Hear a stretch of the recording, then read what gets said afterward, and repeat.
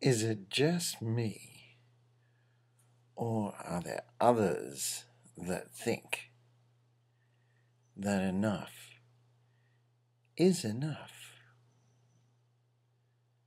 And I'm not just talking about me having enough. I'm talking about on a worldwide scale. I mean, you see these people in charge of businesses who say, oh, we made the same profit as last year, and yet that's a bad profit. How can a profit be bad? They say it's because the profit didn't grow. I say, why does the profit need to grow at all?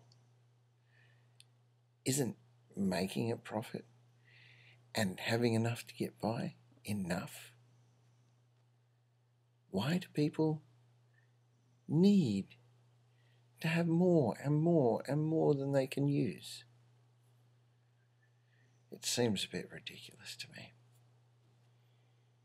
I think we should tell everybody enough is enough.